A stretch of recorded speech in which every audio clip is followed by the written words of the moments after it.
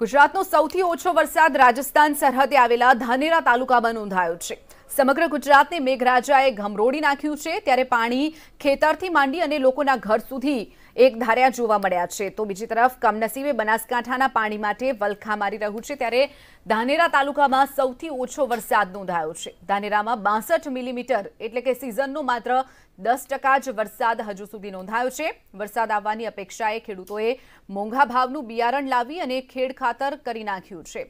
પણ વરસાદ રીસાતા ધાનેરા તાલુકાના ખેડૂતોને ફરીથી ખેડૂતો મૂંઝવણમાં મુકાયા છે. કારણ કે તાલુકામાં પાણીના તળ ઊંડે ગયા છે અને વરસાદ આવતો નથી. જેથી ખેતીમાં શું પાકશે તે પણ એક મોટો પ્રશ્ન બની ગયો છે.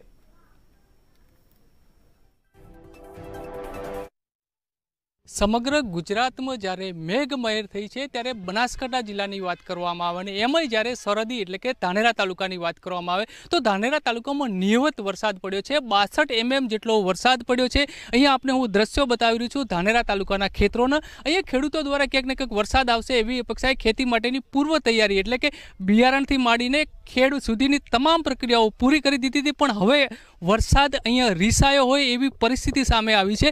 ત્યારે અહીંયા ખેડૂતોની વાત કરવામાં આવે તો ધાનેરા તાલુકો એટલે કે ખેતીને પશુપાલન સાથે સંલગ્ન છે અને અહીંયા જરૂર છે પાણીને એ જ પાણી નથી એટલે કે કુદરત રૂઠ્યો છે. ત્યારે ક્યાંક ને ક્યાંક ધાનેરા તાલુકાના ખેડૂતો હવે ભગવાન જોડે અપેક્ષા રાખી છે કે, હે બાપલિયા, હવે તો વરસ. પ્રકાશ ત્રિવેદી મંતવ ન્યૂઝ બનાસકાંઠા.